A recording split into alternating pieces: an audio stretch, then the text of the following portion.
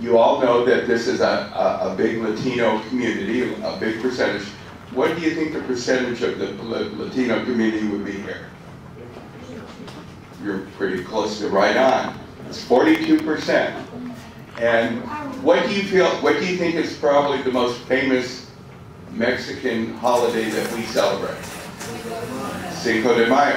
And many people think that Cinco de Mayo is Mexican Independence Day, but it's not. And Denis O'Leary is going to tell us a little bit about that. Uh, so uh, De Denis has um, been an educator for over 27 years with the Oxnard School District.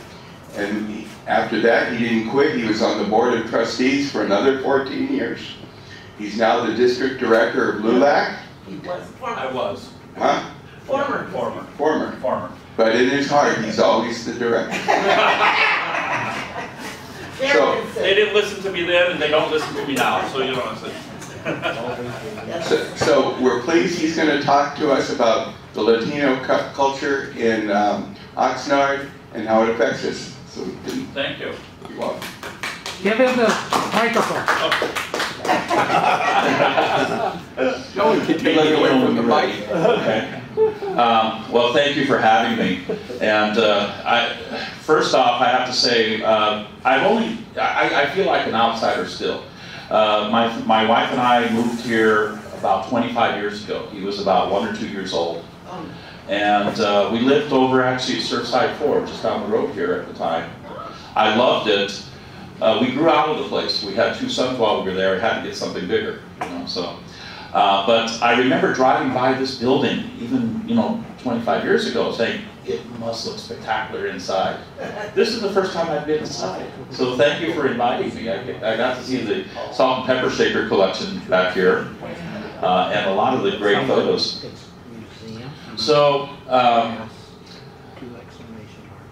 you know, it's interesting because I, I, I, was reading in some accounts there are 42, 45% Latinos in the community.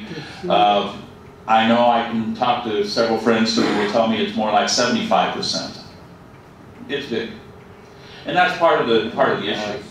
Um, when I got here, I'd already uh, lived, I'm originally from San Bernardino, moved to a bunch of different places. Um, one of those places, by the way, well, let's see. The three famous people I grew up with. Uh, we were at a Job Corps Center in Northern California. I'm buying a little time while he's finishing this up.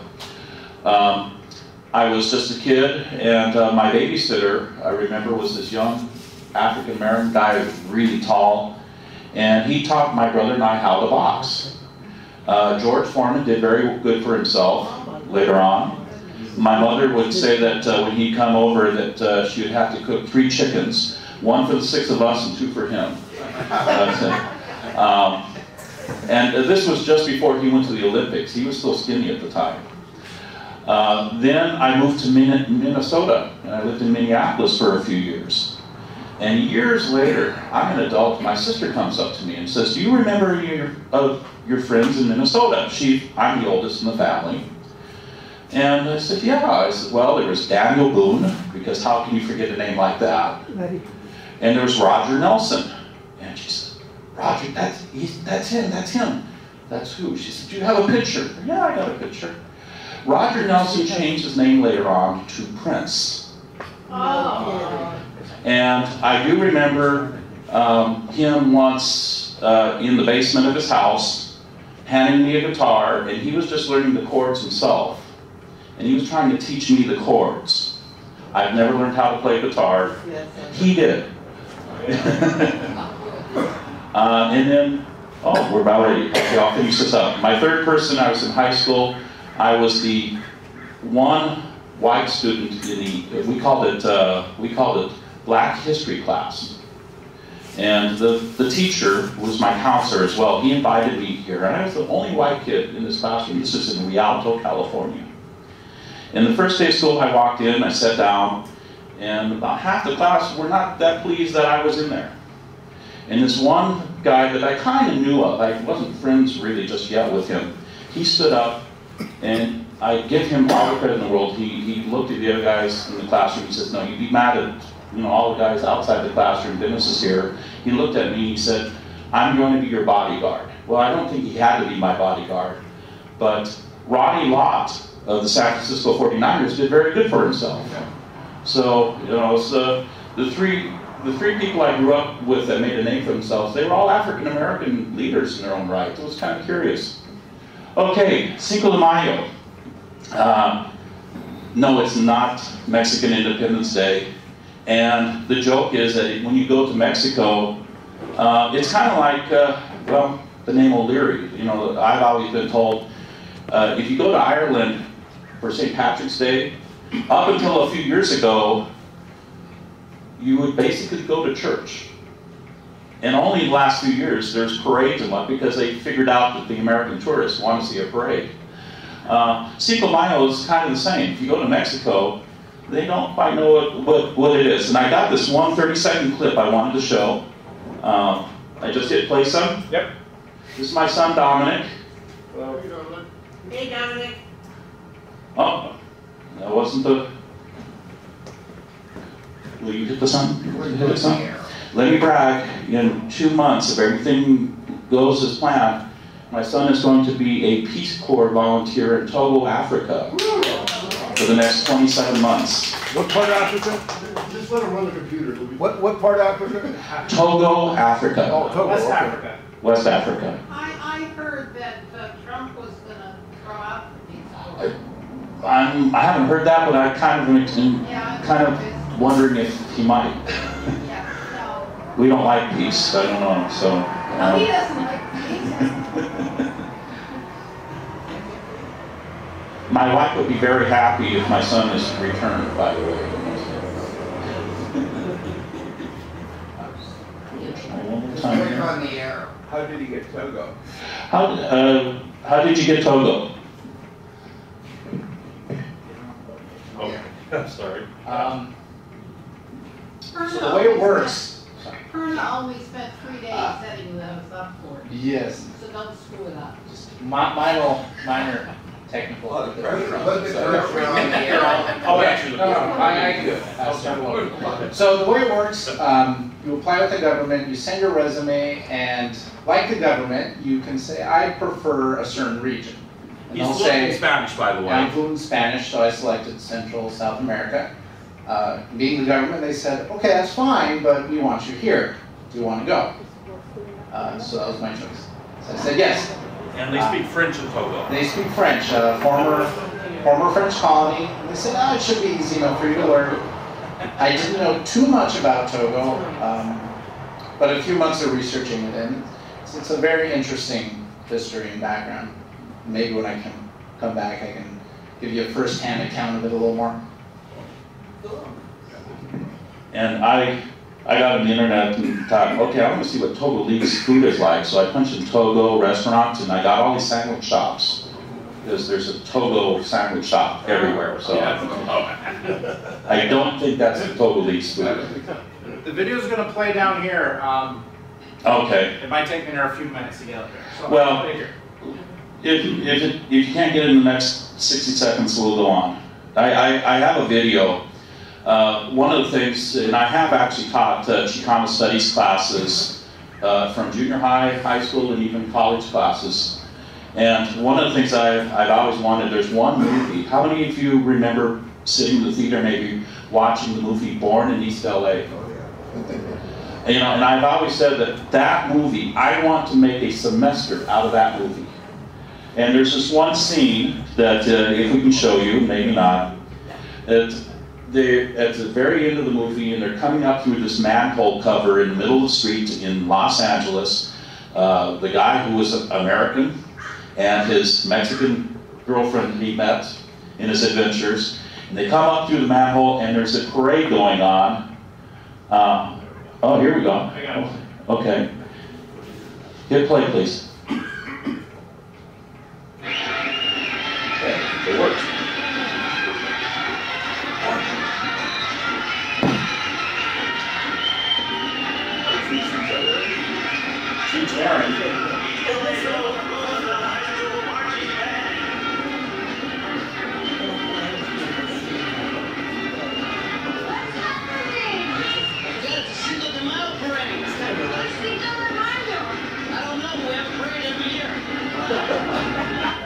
And, and I, I just, I saw that clip and I said, I gotta show that.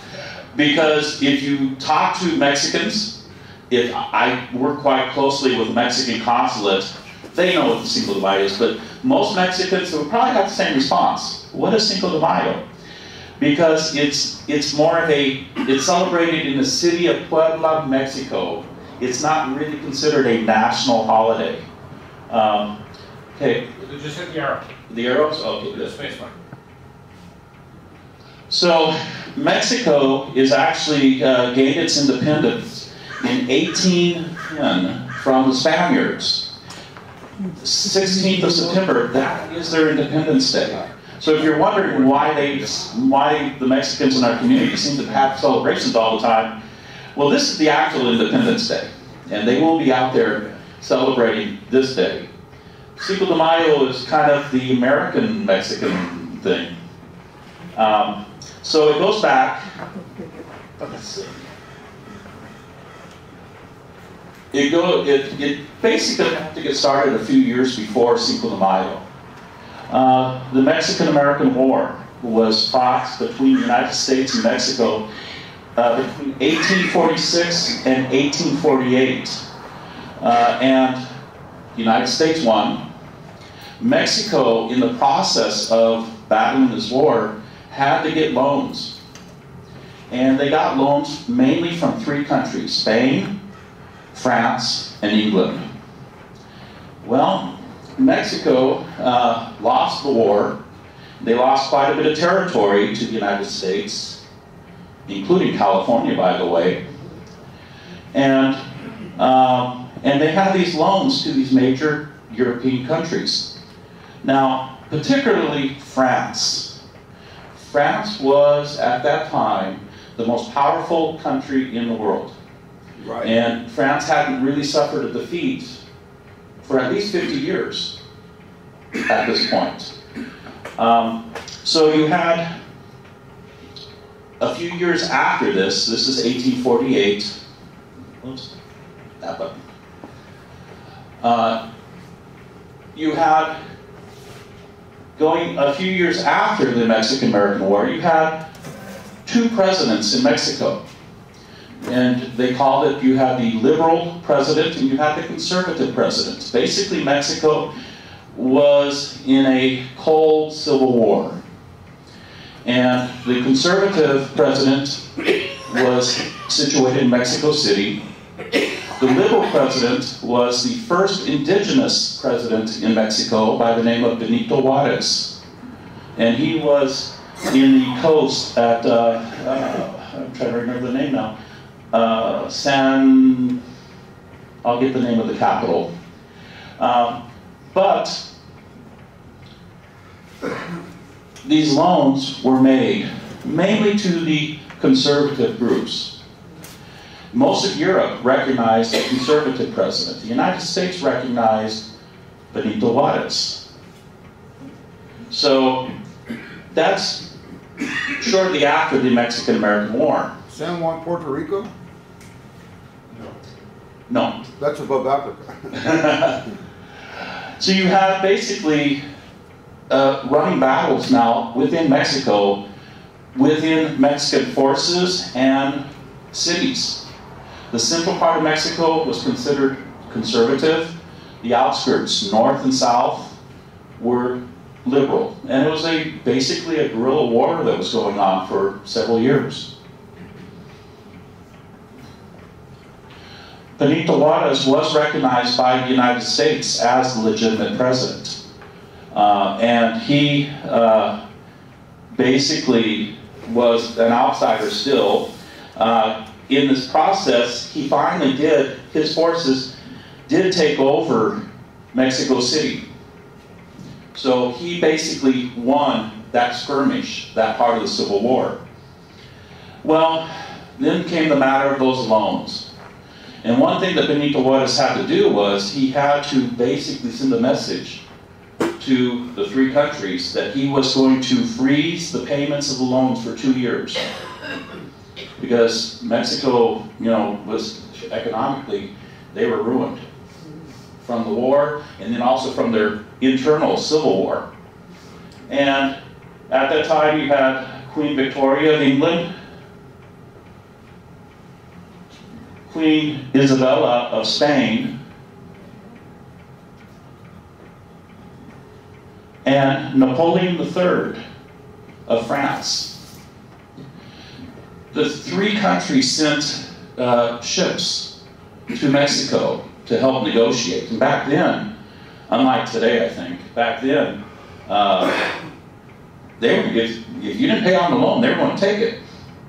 In fact, there was loans also to the United States before the Mexican-American War, and we decided, the United States, that uh, we negotiated reparations, that we would take profits from the mining in Mexico. And there's quite a bit of uh, silver deposits in Mexico, amongst other things. And so that the United States, we kind of worked it off on the side.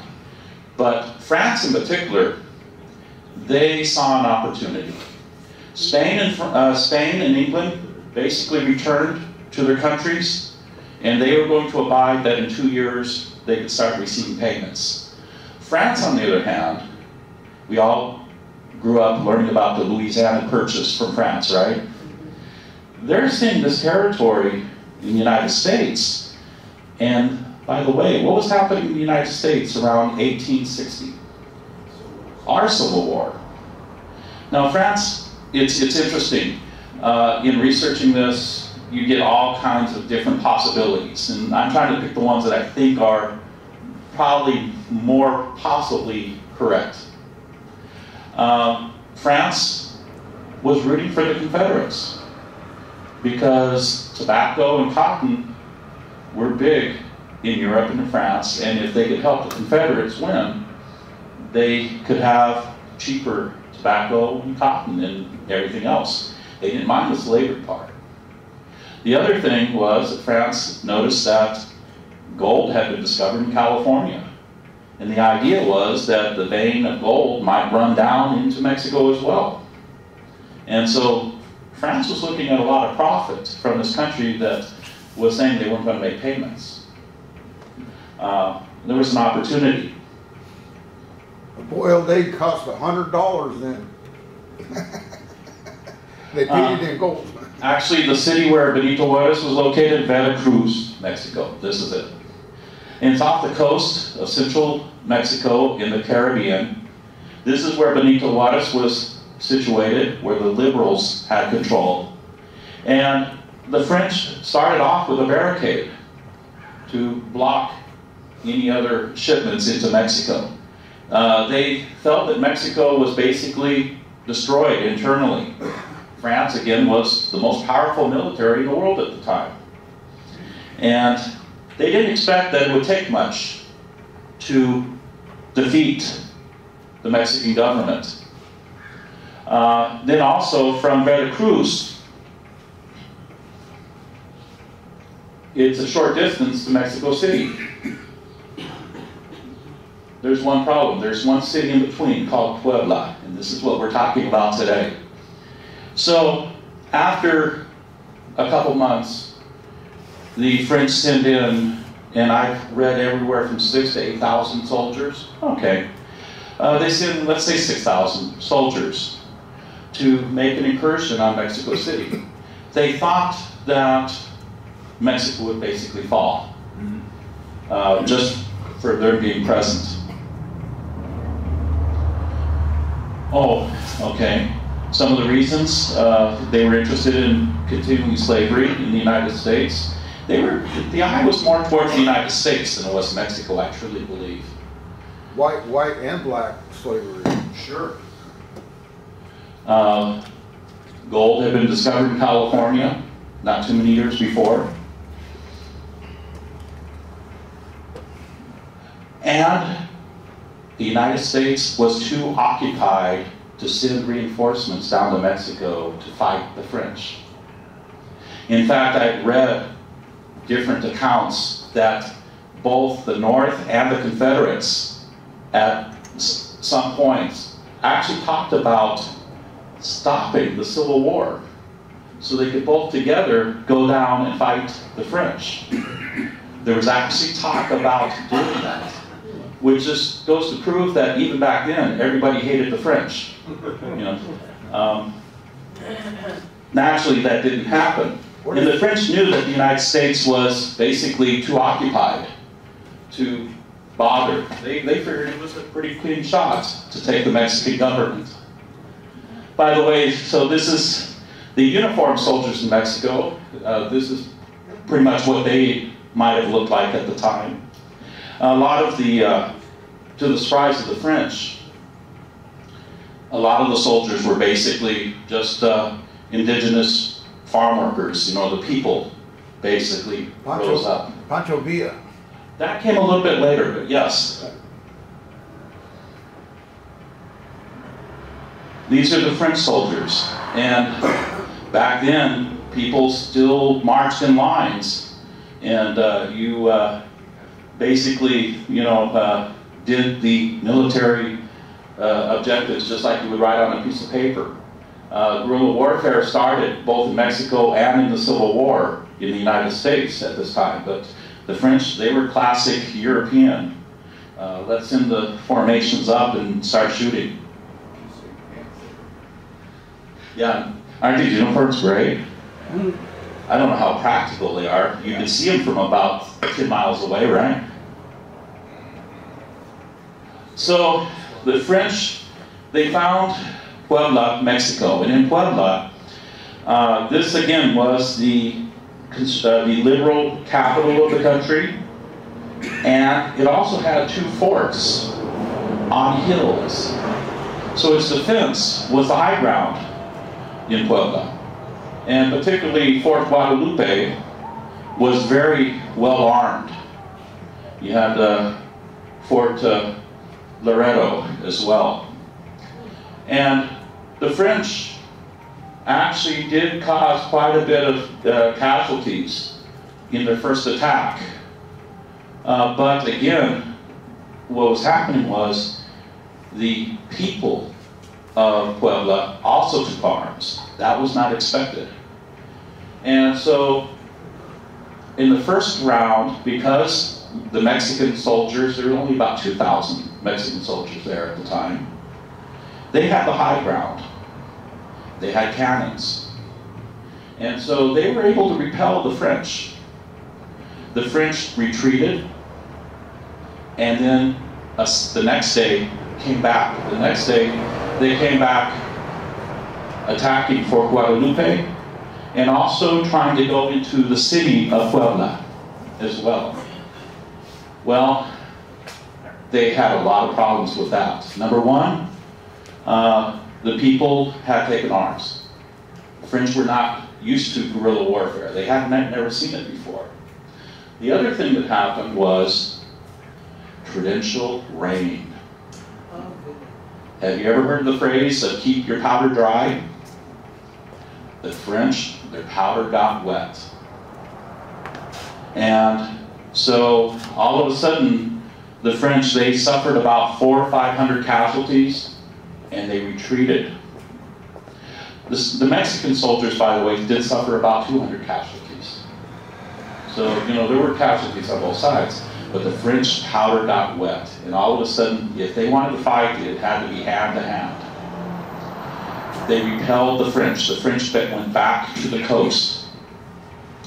And from that day, Benito Juarez, the president that was stationed in the city, in Veracruz, in this region, he proclaimed Cinco de Mayo, the 5th of May, as a national holiday. Kind of like Remember the Alamo, except in this case, the people are remembering one. Now, have you, a year later, France mounted more soldiers and basically went around Puebla. So the French actually did take over. Oh, by the way, I'm sorry. This is the this was the general in charge of the fort at Guadalupe. And his name was Ignacio Zaragoza. He's considered a patriot, a hero in Mexico. He died of yellow fever a couple months afterwards. He was in his 20s, a very young man. Um, so he's considered a national hero. Had he lived, he might have been president himself someday. But uh, uh, again, you, you basically, your general was in his 20s at the time. And it worked, so, you know, he's uh, praised to this day. Some photographs, uh, again, uh, I'm not, this seems very romantic, doesn't it? Um, but, uh, but the forts were on the high ground, which is the big thing. And again, they don't talk about it much. The Mexicans, even if I speak to people at the consulate, uh, they, they like to say how they beat the French. They don't want to mention that the rain came and turned everything to mud and turned the, the, the gunpowder to, you know, slushies. They, they don't want to mention that part. But everything in war, everything counts, right? Um, Benito Juarez immediately called Cinco de Mayo national holiday, and this was a rallying cry. Now, have you, the French did take over part of the country, and they were actually, Mexico was a French imperial colony for several years.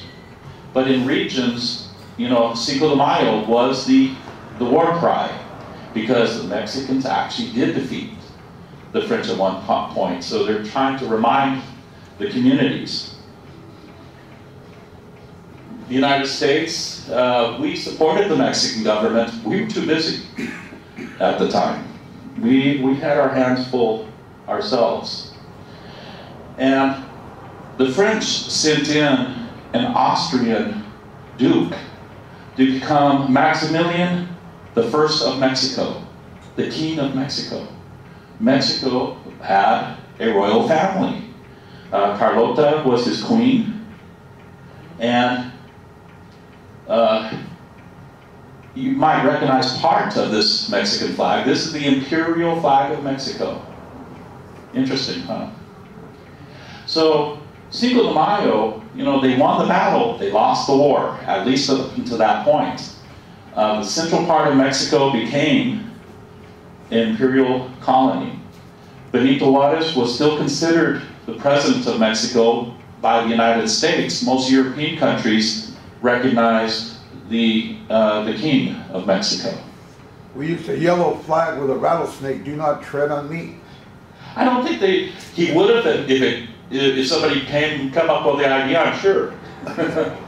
Well, I, I'm saying that's what we used, you know, Mhm. during the Civil War. And, you know, and their Civil War, you know, uh, it might have been for different reasons, but it was just as complicated as ours, I think, in, in a lot of ways. Uh, President Juarez and Abraham Lincoln did exchange actually many letters to each other. They never met. Uh, had Lincoln not been assassinated, they probably would have met later on in life. Uh, but uh, they were very similar in a lot of their ideas and their thoughts. Yeah, he was raised very poor in uh, Virginia, and he did his homework with coal and a shovel. That's how he did his homework. True. And poor. Juarez was the first indigenous president to Mexico, basically came up from poverty as well. So, you know, you can kind of, you can kind of see that they probably could have been very good friends. Uh, but they did exchange Well, I'm- I'm quite sure a they are in heaven. I'm sure they are in heaven. So you recognize the, the map of Mexico. The center part here in the blue, this is basically what was controlled by the French Empire. And you have to the north and south that they did not control. And so you basically had a stalemate civil war with running battles going on periodically. Where, where does Albert Pike come into this? General- sure. General Albert Pike was involved in the Civil War too. Well, that was, but the American War, right? was he in Mexico? Yeah. Uh, probably the later, Well, he was- I'm going to cover Sheridan I- and I'm not sure. U.S. I know he was in the West or something, in the Midwest or something, Why, why don't we hold the questions until the end, okay? Well, they come up. I'm trying to put the pieces together. Now, the, uh, the Cinco de Mayo, the Battle of Puebla, happened in 1861. Finally, uh, this is towards the end of the reign of, uh, of Maximiliano. The United States Civil War finally ran down to an end. And President Lincoln was sending, let's see, get the names here, U.S. Grant and uh, General uh, Philip Henry uh, Sheridan to go to the Mexican border. They were ready to stage the war. Now, what was happening was the French never expected to have the resistance in Mexico that they found. They thought they were going to be able to take the country, you know, very easily. Isn't it interesting that superpowers, including the United States, we always think that the, the small, weak country is just going to roll over. And bottom line is everybody's patriotic to their country.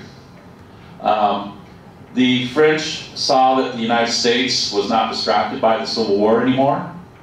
Uh, the French also saw that they had a very difficult time in, France, in, in Mexico. And uh, Napoleon III actually wrote to the King of Mexico, Maximiliano, asking him to abdicate. And so that was kind of the beginning of the end. Because if you're a Mexican soldier fighting for the French and you see that the power has just been taken away, a lot of people, you know, a lot of the soldiers also stepped aside. Um, the Civil War continued for a couple more years. Uh, and finally, towards the end, Carlota, the, the queen, went to Europe to beg any country to come and support her husband in Mexico. And it said that uh, she went crazy. It said that she actually visited the Vatican and pleaded with the Pope, finally, to, to come. And to this day, and apparently this is true, she is the first and only woman who has spent the night in the Pope's chambers as an official, official guest. He saw that she was mentally so distraught that they asked her to stay. And she lived there apparently for a couple years in, in the Pope's chambers. Um, she never saw her husband again.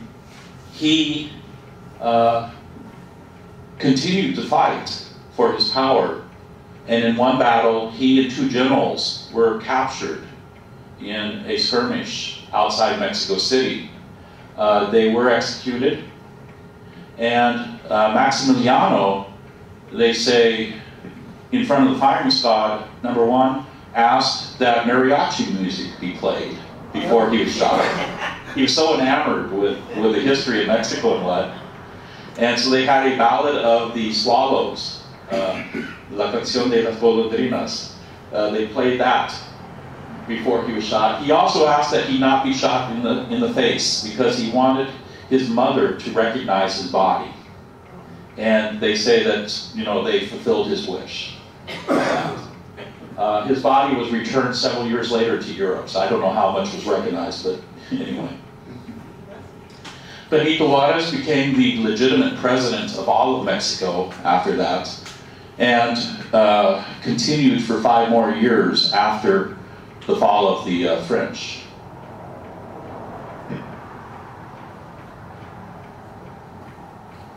Now, Mexico was in a state of flux all the time. They had internal civil unrest. They had an invading force coming in. They had Benito Juarez, who, even though he was the victor, at least half the country didn't really support him. And I guess, how do you balance out history? Well, in this case, in Mexico, uh, right after Benito Juarez, they had President Porfirio Diaz, who was a general at the time fighting the French. He became basically a de facto dictator. And for 30 years, minus five in between, uh, there were five years, one, uh, once, one section of one year and then another president for four years that kind of fit in between him. But for 30 years, he was basically the dictator in Mexico. That's where he leads up to the rebellions of Zapata and Pancho Villa and what, that finally brought Mexico maybe back to the center in, in politics again. But uh, so it, it, it makes sense in a way that unfortunately sometimes you need a strong, a strong man like this to get a civil unrest under control. And then, believe me, politics in Mexico today, I, today, quite often I have people telling me, well, all Mexicans are Democrats and all Mexicans vote this way. And I look at them and said, do you understand how many political parties are in Mexico? Uh, they don't have two, they might have 20, you know. And even within the parties, there's, you know, so, you know. But uh, he was the strong man that brought Mexico back to basically democracy, even though that came after his fall again, that they could have free elections and what. Now, Cinco de Mayo here in California or in the United States, there's all kinds of theories. The one that historically I think I trust the most is, you know, why do we celebrate Cinco de Mayo here? It actually, you know, your first answer could be beer companies and advertising and avocados and, you know, kids, college students and, you know, that's, and, and yes, that came into play. But in 1970, there was the Chicano moratorium. Has anybody ever heard of the Chicano moratorium? A couple people. In 1970, in Los Angeles, there was a protest called the Chicano moratorium. Thousands of Mexican Americans went to the streets and they were protesting the Vietnam War. What year was that? 1970. Okay. And the, the simple fact is that they were noticing that even though they were 10% of the soldiers going to war, 20% of the fatalities coming back were Mexican American. And, you know, just like a lot of other groups in the United States, they're saying, hey, you know, something needs to be changed and this needs to be pointed out. Now, during this protest, the first two or three hours, there were no problems. But there was word of looting in a store. And I say word of looting, to this day I can't find where that looting happened. But there was word of looting in a store. And because of that, the police department basically ascended on the protest. Whittier Boulevard around Ford Avenue. Silver Dollar Bar. Um, and um, four people were killed, 60 people were injured, 200 people were arrested. One of the four people that were killed was a newspaper writer for the LA Times, uh, Ruben Salazar. And Ruben Salazar was basically the only Mexican American or Chicano at the time that was writing about the community's issues in a mainstream newspaper, the LA Times. He was in the Silver Dollar Bar, and the official report is that he was killed because a tear, cap, tear gas canister struck him in the head while he was in the bar. Well, apparently this particular bar had the door, it had a wall, it had basically the tear gas canister would have had to bounce off about four different walls to be able to hit him. And physically, the autopsy showed that there was no injury to his head. So we may never know. But this was in 1970 in the United States. The Chicano movement at that time proclaimed that Cinco de Mayo was a good rallying cry. And so they knew that it was a celebration of a battle in Mexico, and the Chicano movement decided to use that as a rally cry in the United States. Now, it's fuzzy. I can't swear that that's the only reason. Shortly after, of all people, Coors Beer decided that they were going to advertise. You, you, you, you knew about that one, right? Coors Beer started some advertising, and one of the first Cinco de Mayo celebrations in the United States was in Denver, Colorado. Guess where Coors Beer is from. So, you know, why do we celebrate Cinco de Mayo in the United States? There probably are a few people from Puebla, Mexico that are here that grew up learning about the battle. There are maybe even a couple Chicanos around that remember, you know, the good old days in the 70s and the Vietnam protests. Most people will probably point at first the American beer companies, and then after a while the Mexican beer company said, hey, we might as well get on, in on it too. And it seems to be advertising generated more than anything Uh, else. I was the one that wired Busch Gardens and they, and everybody forgot about that one. in LA. And, and Bush is, and that's, that's my, that's my video presentation. Are there any comments or questions? And, and have you? I am not the expert on Cinco de Mayo, so hopefully, maybe you have some points that you bring into this as well. Yes? The question I have is like, okay, so in the Civil War, I mean, in the Revolutionary War, France was supporting the United States. Correct. And then in this war now, the United States is probably not supporting France.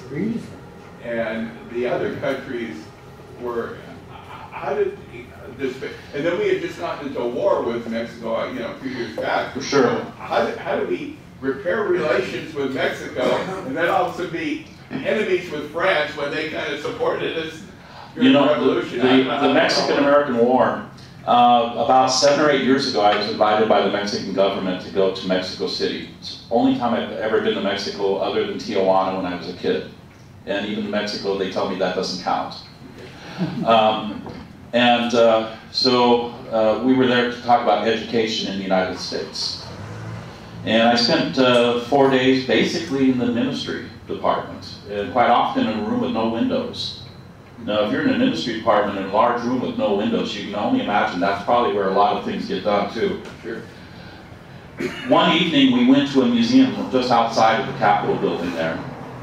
And uh, they were having a little reception for, for us. We were about 20 educators from Canada and the United States.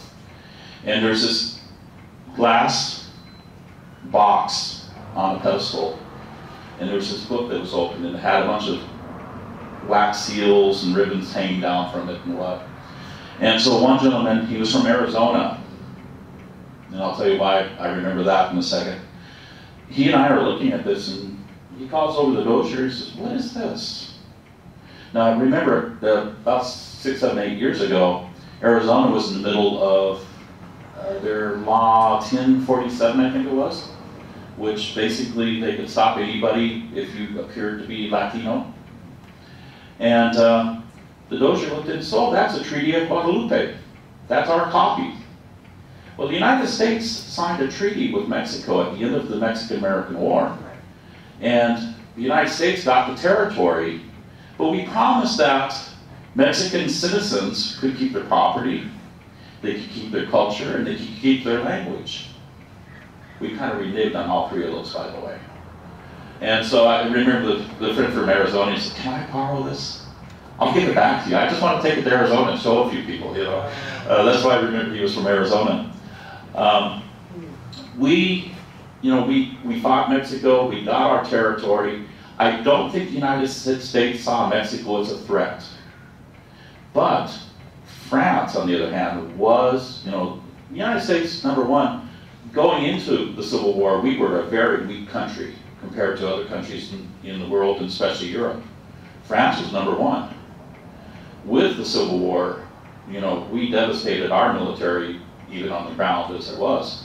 So even though we did send in troops at the border of Mexico to say, hey, we're willing to support you, uh, the United States was more fearful of France than they ever would would be of Mexico.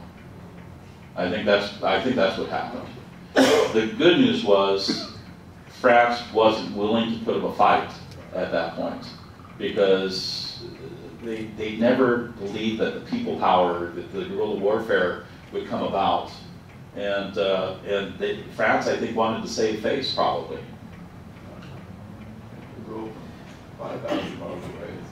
Yes. The French got involved in the, in our revolution as a method of uh, countering the English. It was a, it was a marriage of convenience, not, Friend not of of my any enemy of my desire. enemy is my friend. Yeah. And, and the old joke, everybody hates the French. you know. Sorry, if anybody of French heritage here, I apologize. When the ranchos in California, they stayed next to the Mexican land grants and stuff like that, stayed for a while. For a while, but eventually, you know, When they once. sold them, or who knows? Right. um, you know, and then over time, just things happen. Uh, the, the local history with Cesar Chavez, uh, his family, he was born in Yuma, Arizona. His grandparents owned land that was, he was, during the Depression, they were basically swindled out of the, out of the land. And that's when the family came to Oxnard. to, uh, to start working. Uh, so, yeah, over time, we just kind of picked apart, you know, properties. Yes, Um, I grew up with Henry Hernandez. He was one of my, best. his family owned horses down in the river there, the Ohio River, where I grew up. Uh-huh. Between the Chicanos, uh, East LA, Pico Rivera. I went to school with, uh, the, the actor named John, the, the Scarface. Mhm. He graduated Montebello High ahead of me, uh, but I'm gonna find out some of the answers, the questions that you have, like, I, I, I remember a lot of things on Olympic Boulevard, you know, happened, and that Whittier Boulevard- Boulevard. And, uh, Pico Pico Ranch is one of the places I wired, uh, they ra- he raced horses, um, and that's how he won his land. And they, to this day, where the Hernandezes own the land, every, all the Mexicans live down there now. Sure. Chickens and, and, and ducks and And even with the, you know, and, and get to the point where Denis O'Leary, you know, I've been, I'm not currently, but I've been district director of LULAC, which is the League of United Latin American Citizens, uh, the oldest civil rights organization in the country for Latinos. I've taken up other Latino causes. I am not Latino. And, uh, and in discussions with people, even who are legitimately Mexican or Latino or they will debate among, amongst themselves. We don't know today where everything is in flux as far as the history. Particularly, you can imagine, as we're sitting and standing now with Donald Trump in the White House, people are looking around at each other saying, what do we do if? And that if might be 24 hours from now. So, you know, it's, it's an interesting time we're, we're in. David, Yes. David, David Manuel and Peter Marshall wrote a book called uh, About America. Then they went on to the Civil War, and uh, they researched all their stuff. Uh, you know, like uh, a lot of things weren't researched. They made books that were half truths until they, they came along fif- and they started writing about Vietnam, what it was like 15 years before. And uh, that's The Light and the Glory by Peter Marshall and David Manuel. And they went out to the American Indians that were as old as 115 years old and asked them what it was all about. And they began whatever, you know, what, what they had for, to collect the information then uh, was telephone lines and We live in a time where we're talking about real news and fake news. And can you imagine trying to describe history? Yeah, the Civil War. know, they- we they- see things all- actually it's all- happening in front of the us and Korean- disagree with In the other. Korean bookstores or online, you can find Peter Mhm. Marshall and David Manuel's books, and they're all true. Yeah. Uh, Like, uh, LULAC, how is LULAC coordinated? I know like in the, in the seventies, I remember going to college, they had like, they had MAPA and then they had a couple of other Correct. um, Latino support Mhm. organizations. How was the evolution, like LULAC actually was, to me, I learned about that later, but I remember. MAPA and there was one other organization that, Chicanos, they asked, huh? Chicanos, they asked for it. I'm Sure. And they had all, how they, how I that whole You know, uh, coordination emerged? or- like, like inviting relatives to a Thanksgiving dinner, you know, they, they all agree that they're gonna get together, but they disagree on a lot of things. Uh, so there's a lot of organizations out there. And, uh, LULAC is the oldest, uh, Latino organization that's still in existence. Uh, MAPA and MALDEF came from LULAC, kind of offspurts of LULAC. But uh, there are coordinations and uh, different focuses sometimes. Uh, MALDEF is more of the legal, you know, uh, they sue people. That's the general joke. Uh, LULAC calls MALDEF to sue people, you know, thing. Uh, within LULAC, there's a national organization uh, headquartered in Washington, D.C. Uh, the, uh, the CEO of LULAC is a good white Irishman by the name of Brent Wilkes, and he's been in that position for many years. So uh, there are African Americans, there's Indians, there's uh, any mix you can think of. LULAC, uh, it depends on the region. Uh, you know, I'll go to national conventions in LULAC, and it's very interesting that a Floridian Latino is much different than a Californian Latino, and nobody is like a Texan Latino. I mean, uh, there's this, uh, so you know, this idea that everybody's the same, uh, that gets blown out of the water real fast. I do remember one time, uh, I share a short story, I was at a national convention in, uh, in Little Rock, Arkansas for LULAC. And there was, you know, these conventions will have 15, 20,000 people. And I was talking to a gentleman, the military is also very strong in LULAC and a few of these organizations. And I was talking to this gentleman who had his Medal of Valor on his neck, which, you know, I, I never served in the military. Uh, Vietnam ended when I was about 13 or 14, so I was close enough to say, hey, in a couple more years, but far enough away, thank God I didn't have to do that. But uh, I, I, I know the, the value of that medal that he was wearing. And I was talking to him in a hallway, and somebody came running into the hallway saying that the KKK was outside the convention center, saying that everybody inside was illegal. And I'm talking to a gentleman with a Medal of Valor hanging from his neck. And, you know, I just, uh, th- there's certain moments you just remember. And our conversation, he and I, you know, changed at that moment and said, should we go outside? And I'm thinking, oh, let's please do it so they can see your, your medal, you know. Well, he was correct. He's, no, he said, I'm gonna stay in here. And he was an elderly gentleman, but he said, uh, it wasn't, you know, them seeing that medal wasn't not going to change what they were saying or what they were doing. Uh, so that stuff still exists. Um, but uh, just like any organization, uh, you know, uh, if you want to see democracy in action, do not go to a LULAC national election. Believe me.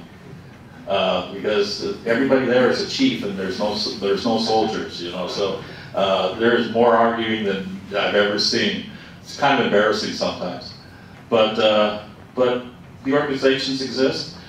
Unfortunately, a lot of, in this case, Latinos, uh, the youth, they don't know about these organizations. Or they might know that there's a MECHA at their school, but they, but they think that MECHA is basically where they have a monthly party. And so a lot of this history of why these organizations are around has kind of fallen off. But that's always going to be the case with any population, probably. But there are a lot of good people still fighting. Thank you very much. Thank you, Devin. Thank you very much. We'd like to give you, uh, this is Hueneme Stories and Hueneme Stories Two. These are, uh, I love this. that uh, Dorothy Ramirez and Helen Brandt put together along with some of the Mirandas, and they are really fun to listen to, from talking about the pigs on the beach to Box George and things like that. You know, in, in fact, uh, I want to see these, but I can see where I can probably use these in my classes also. Oh, they're great. So, When I first moved to the area, I thought the name was White, Wainame.